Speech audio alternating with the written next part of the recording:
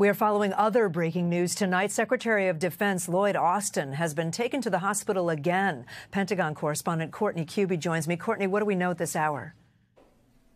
Kate, Secretary Austin was taken to Walter Reed just after 2 o'clock this afternoon for what the Pentagon says were symptoms of an emergent bladder issue. Now, he was not taken by ambulance, and defense officials say he's not been admitted at this point, but he's still undergoing tests. The Pentagon notified the White House, Congress, senior Pentagon leaders, and the public right away.